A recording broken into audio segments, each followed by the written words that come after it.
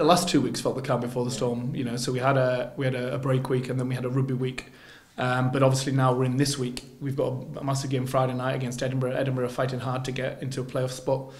Um, we've got a, a, a good team to go up there and play against them. You know, I respect Richard Cockerill for what he's done and how he's built their team. They've got the home quarter final against Munster to come a week on Saturday. Um, and we've got the reintegration of the Ireland players coming back in this week um, alongside running a team to play Edinburgh. Uh, and then, you know, with the, the combination of, say, 45, 50, 50 odd players fit and available for selection, we need to build a team that's got cohesion and confidence and belief going into the Ulster game because that's a huge game for us now. Um, obviously, with the quarter final at the Aviva. Um, and then it rolls on, as you say, you know, there's no break now. So it goes Treviso, Glasgow, you know, potentially, obviously, you've got to earn the right to get into a semi final, Ulster away.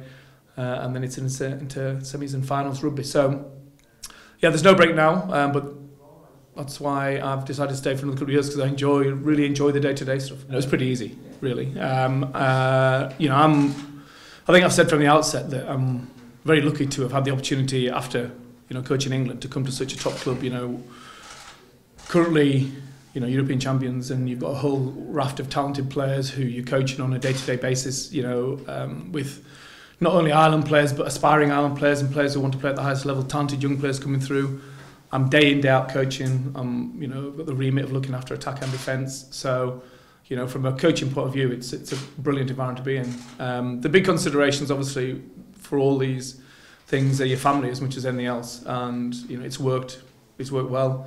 Um, the community has been um, a challenge, but it's it's doable. Um, my wife and kids are happy. Uh, in that they can come across whenever, whenever, whenever they want, and I can go home see them.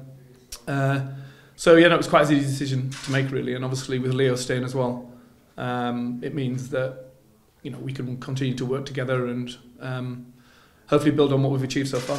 When I first arrived, I could see the potential from from before I arrived because obviously when the call came from Leo, the first thing you do is assess the squad, assess the current situation. You know, we we just lost against Connacht in a Pro 14 final. Um, but I saw more than enough in the team to believe that success could be built. Um, uh, yeah, I mean, when you when you when you do the maths and you know, with another couple of years, five years is is quite a long time actually. Um, you know, I coached England for four years, um, and uh, in my mind, you know, obviously I wanted to do it for eight, but uh, um, it, it didn't happen that way. So five years. Um, I guess when you look back, looks like a long time, but in coaching terms, I still feel there's an awful lot we can do to improve. Um, probably qualifies me for an Irish passport, doesn't it? In five years' time, I'll be. Could be officially Irish. Yeah.